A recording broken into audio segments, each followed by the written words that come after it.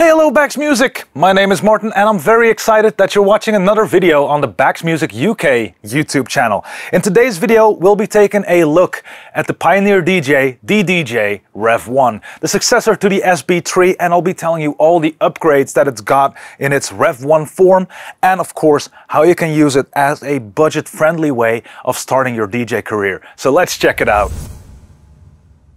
The Pioneer DJ Rev 1 is one that is very comparable to a professional battle mixer setup. What we have is two PLX style turntables and a DJM-S mixer in the middle. Of course everything is scaled down to be able to be a budget class battle mixer, but everything is set up that if you like that style of DJing, that is something that you can get on the cheap with the Rev 1. There's a couple of upgrades that have been introduced in the REV1 as compared to its predecessor, the SB3. What we find first and foremost is bigger jogs and we also find a bigger tempo slider, which is now 60 millimeters long as compared to the smaller one on the SB3.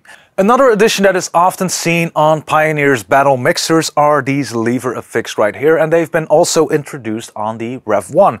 The lever effects allows you to pull them down for a small burst of effects but if you want to free up your hands to do something else like scratch or maybe load in a new track or sample you can also lock them by moving them up. It will lock your effect allowing you to free up your hands to do any of those tasks or more. The performance pads have also been moved to the center of this DJ controller, allowing you to intuitively and easily combine effects, trigger samples or scratch. For the connectivity of this DJ controller, we get what we expect for a controller without standalone capabilities. We have a USB connection that allows you to connect this controller to a computer and therefore Serato. We also have a left-right out master through RCA and one thing that I'll touch on later in this video is a dedicated jack to connect up a microphone to this controller. On the front we find a headphone out so we can actually pre-listen our mix before we send it out into the world.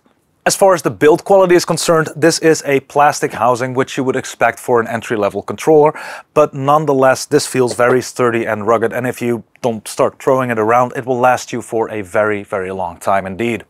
Both of the jogs are able to house two tracks which you can load in using Serato, either Lite or Pro, using these three and four buttons right at the top of each of the jogs, allowing you to go very creative with your mixes even in an entry-level package. A new feature added on the Rev 1 is the tracking scratch and by activating the tracking scratch it allows you to, whenever you release or roll back on the jog, that the track would go back to your previous cue point, allowing you to without too much effort, scratch from the same point over and over again if you would like to. Activating it is as simple as pressing this button right on top of the performance pads right in the middle of the mixer. The thing I touched on earlier, which I find a very welcome addition to a entry-level budget class DJ controller, is the addition of a TRS in or a jack cable in for a microphone. What this allows you to do is talk to your audience, let's say you're live streaming your DJ sets online, without having to buy an external audio interface to be able to do so. This keeps the price point of everything very low and allows you to connect up a microphone and actually communicate with your audience instead of typing on a keyboard.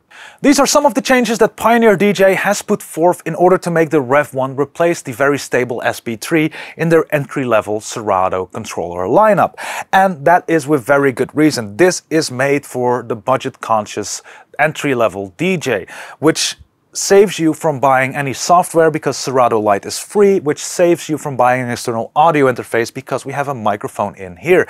This allows you to start live streaming with your DJ mixes right from the moment go. And that is a great way to start learning, building an audience, and grow as an artist. So, if you like this controller and want to learn more about it, I left a link for you in the description down below, which brings you to our product page. There you can read all the information discussed here and maybe even some more at your own leisure. If you like this video, do leave us a thumbs up and any questions or suggestions are more than welcome in the comments section down below as well. If you like this video and want to see more of them, you can subscribe to the Bax Music UK YouTube channel and I'd love to see you again on the next video. Bye bye.